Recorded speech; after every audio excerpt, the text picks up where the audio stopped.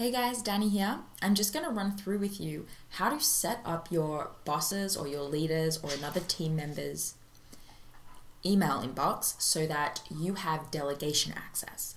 The difference between having delegation access and having the password to somebody else's account is that you're limited in things that you can do, such as chat with other people on Google Hangouts or change their password.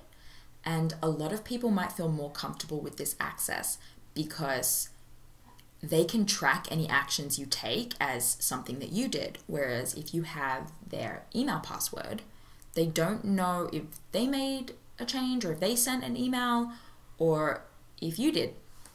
So there are definitely circumstances where an assistant might need full access with the password to an email account, but there are also situations where you might only need delegation access. And being delegated allows you to delete emails, you can respond to emails, but if the reader looks closely, they can see that it was from their assistant. And you can also, you know, sort emails into folders and that kind of thing. So it really allows you to stay in the inbox, helping your leader to organize and keep the inbox really neat and tidy. So to begin, the first thing you need to do is be sitting with your with your leader because you do need to be logged into their account in order to give this access in the first place. But once you have set it up, you no longer need that. So here's a screen share. I have a email account that I use just to receive all of the um, random emails that come from social media accounts. So we're going to use this as an example.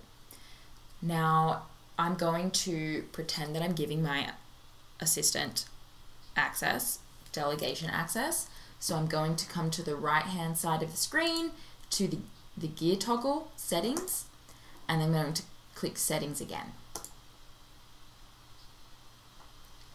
Now I'm going to come to this top navigation bar, accounts and import,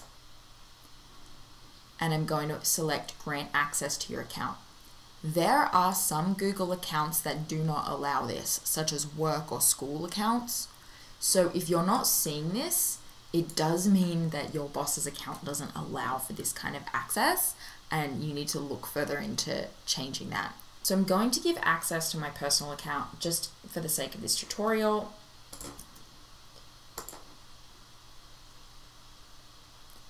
And as you can see, it's going to ask if I'm sure that I want to do this, and then I'm going to grant access.